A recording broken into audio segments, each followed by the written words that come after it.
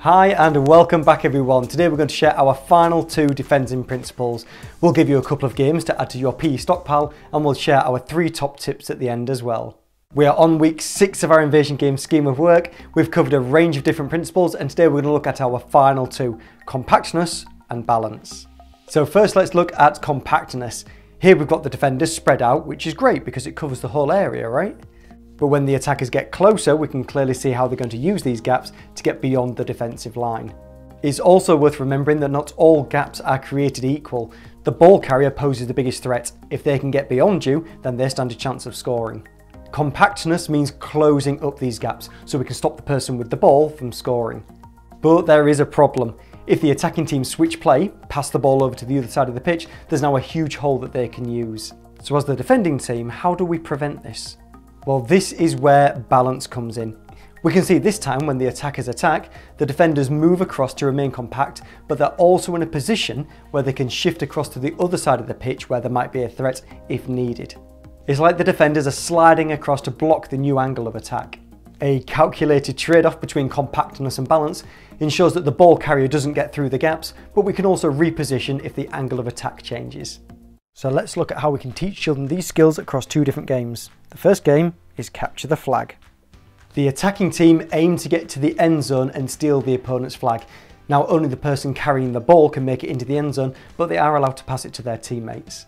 Once they get into the opponent's area, they can then take the flag and then start attacking the other area. Here we see the defenders move back and defend the new end zone. The attackers are now going to discard the ball that they had originally and now with the new flag start attacking the other end as a team. When playing this game, replace the flag with something that the children can throw. This allows the attackers to change the angle of attack and test the defender's ability to balance that compactness. From here, encourage the defending children to be compact around the person with the ball, but provide enough balance so that they can quickly reposition if the attacking play is switched. Some of the children might even be able to look for opportunities to tag the person with the ball, which wins the ball back for them. From here, you're going to swap over. Attackers become defenders and the defenders become the attackers. And our second game is 3 versus 3, allowing children to practice those skills but within a sporting context.